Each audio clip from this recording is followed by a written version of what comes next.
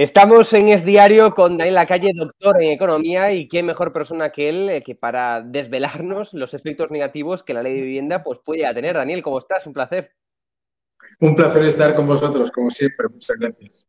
El Partido Popular ya anunció que votará en contra de esta ley de vivienda eh, y dijo que es un chollo para los, los, ocupas. Y no solamente es un chollo para los ocupas, sino que es un chollo, mm, bueno, pues eh, para eh, convertir en un desastre el mercado inmobiliario en, en, España. Es decir, mm, está más que claro que cuando se le dificulta a los arrendatarios pues que pongan sus viviendas en alquiler, pues evidentemente va a haber menos oferta, lo cual va a incrementar el problema de oferta que ya había. Claro, ya tenemos los datos, ¿no? ya tenemos que el primer año de implementación de, estos límites al tope de alquiler, como le llaman, ¿no? este, este, eh, este subterfugio intervencionista lo que ha hecho es que suba el precio del alquiler un 10% y que la eh, oferta se estrangule. Eso lo sabemos. Y además es muy normal. Lo hemos visto en todos los países y en todas las ciudades en donde se ha implementado esta, esta aberración intervencionista, ¿verdad? Pero yo creo que además esta ley de vivienda va mucho más allá. Esta ley de vivienda eh, pone sobre, los propietarios la carga de demostrar que, por ejemplo, pues cuando una, alguien ocupa una vivienda y lo denuncia, el propietario va a tener que demostrar que la persona que ha ocupado su vivienda no, lo, no es su primera vivienda, como si eso fuese algo que tuviese que demostrar el propietario. Además, los procedimientos judiciales que se lleven a cabo se considerarán nulos si no se demuestra por parte del propietario que la persona que no está pagando su alquiler o que, no que ha ocupado su vivienda eh, eh, no está en situación de precariedad o de riesgo de exclusión, etc. Es decir, lo que está haciendo es amparar la ocupación desproteger al propietario y por lo tanto hacer que muchos más propietarios, uno, no inviertan, dos, no eh, pongan sus viviendas en alquiler. Claro, dicen, bueno, entonces vamos a subirle a los propietarios que tengan viviendas vacías un 150% el IBI. Y claro, ¿qué es lo que ocurre entonces? Pues obviamente muchos de esos propietarios ponen su vivienda a la venta y se deshacen de la vivienda o hacen otra cosa completamente distinta, que es empezar a generarse un mercado eh, por la, digamos, eh, un mercado no reglado en el que los eh, ciudadanos intenten protegerse de esta arbitrariedad y de esta salvajada que es la ley de la vivienda. Eh, es, muy grave lo que estabas comentando y es la base del asunto, ¿no? Y es el nulo respeto hacia la propiedad privada. Es decir, si yo tengo dos viviendas, tres, cuatro, las que sean, y una las quiero dedicar para alquilar, la otra pues la mantengo ahí hasta que vaya, eh, digamos, en verano a disfrutar de, la casa de la playa o lo que yo quiera hacer con ella, o sea, ¿qué se tiene que meter el Estado en nuestra propiedad privada? Es decir, es que eso es la base del asunto, es el nulo respeto que ya, que, que ya tienen y que ya demuestran hacia nuestra propiedad privada. Es que no se puede especular, dicen, bueno, y si yo quisiera especular, que realmente es ahorrar, que son dos conceptos diferentes. Una cosa es especular, otra cosa es tener una vivienda para ahorro, como lo tienen muchos españoles. Pero si yo quisiera especular con la vivienda, ¿qué, más da? Pero bueno, es que además todo parte de una falacia, ¿no? Todo parte de una falacia que el problema de la vivienda en España eh, está en las viviendas vacías, que es falso. En España hay alrededor de un millón de viviendas vacías que están fundamentalmente en pequeños pueblos, pequeñas localidades, no tienen absolutamente nada que ver con el problema de la vivienda. Y después, tú acabas de decir, o sea, es que el poner, eh, digamos, dudas a la propiedad privada, vamos a ver, es que el inmueble es del propietario y en el momento en el que tú atacas a la propiedad privada, estás atacando a todos los propietarios de España, porque claro, dice, no, esto solamente le afecta a los grandes tenedores, no es verdad. No es verdad.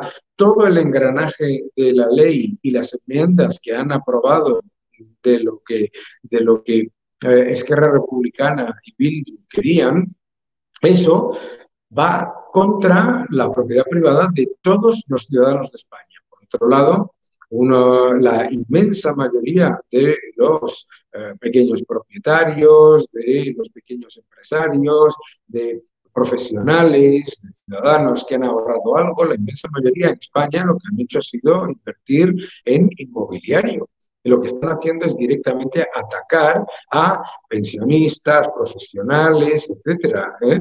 Es, el, ese es el, la clave del asunto, bajo la excusa de que están atacando a eso que llaman fondos buitre, etcétera, no sé qué, que es mentira, por otro lado, porque los, eh, los, fondos de inversión tienen todo tipo de mecanismos para protegerse de una ley como esta. Para empezar, ¿eh? pues porque nadie puede tener la capacidad que tiene un gran fondo de inversión de acceder a los mejores abogados, los mejores eh, peritos, los mejores consultores, etcétera, etcétera. Pero me da exactamente igual. Si es que no, eh, como eh, la idea de que los fondos de inversión son malvados, que lo que hacen es no alquilar las viviendas que tienen para fastidiar, es una estupidez de tal calibre, ¿sabes? Es que todo está basado en la legitimación del robo, porque lo que están haciendo es eso, es defender el robo bajo la excusa de que si le robas a una persona que tiene cinco inmuebles, es bueno, y si le, robas a una persona que tiene cuatro inmuebles, también es bueno, pero menos. A propósito, no sé si lo sabes, pero la razón por la que Podemos ha pasado de llamar grandes tenedores a las personas que tienen tres y cuatro viviendas a poner cinco, no sé si sabes por qué es, porque hay muchos, entre otros la pareja Iglesias Montero, que tienen, de su gente, que tienen cuatro viviendas. Eso es una barbaridad. Y luego ya, eh, digamos, avanzamos a la siguiente derivada, ¿no? Y es todas las promesas de, viviendas eh, públicas, del aumento del parque del parque público eh, que, prometió Pedro Sánchez. Es decir, si ya contabilizamos todas las promesas que nos hizo ya desde que Ábalos era ministro de Fomento, no sé si nos lo recuerda, pues bueno, ya van en 200.000, 300.000 viviendas públicas que prometió el gobierno de Pedro Sánchez, de las cuales llegaron esto, cero. El gobierno de Sánchez ha prometido más vivienda pública desde que ha llegado al gobierno de la que se va a construir hasta el año 2030 en total, pública y no pública. ¿Mm? Eso para que nos hagamos una idea, ¿no? Eh, el, gobierno de Sánchez se levanta un día por la mañana, ve que las encuestas no van muy bien y dice, vamos a prometer 21.000 viviendas públicas. No ha hecho ni una. Y la razón es porque lo que están haciendo es ahogar la oferta. Están ahogando la oferta en todos los lugares donde gobiernan eh, de dos maneras, ¿eh? dos maneras muy evidentes. La primera, por supuesto, poner muchísimo menos suelo a disposición de eh, promoción, incluso de promoción de vivienda pública, y la segunda, el constante expolio vía el IBI que se lleva a cabo desde los ayuntamientos, claro. Em, y para concluir, cambiemos de tema porque hoy tenemos más o menos ya el borrador de lo que, digamos, de estos hombres de negro, de estas mujeres de negro, mejor dicho, que vinieron a finales del mes eh, de febrero aquí a España y que lo van a presentar ese borrador, esas conclusiones, digamos, en el Parlamento Europeo. Y las conclusiones es que Pedro Sánchez, eh, palabras textuales de ese borrador, Sánchez no colabora contra la corrupción es gravísimo. Es decir, que vengan aquí personas de, la Unión Europea y que la conclusión que extraigan es que tenemos un gobierno de, España, un presidente, Pedro Sánchez, que no actúa o que no va en contra de, la corrupción, que favorece la corrupción, vamos. Hombre, vamos, eh, un gobierno que ha eliminado eh, todos los eh, delitos de malversación, de sedición, etcétera, que ha tenido la desvergüenza reducir a la prácticamente eh, irrelevancia el delito de malversación de dinero público y encima introduzca algo como la idea de que él, si ha robado dinero público, pero no ha sido para lucrarte tú, sino para dárselo al partido, que eso no es malversación, pues esto ya es, pues obviamente, la legitimación de la corrupción, claro, es lo que está haciendo. Daniela Calle, doctor en Economía, un placer, muchísimas gracias. Muchas gracias a vosotros. Un fuerte abrazo.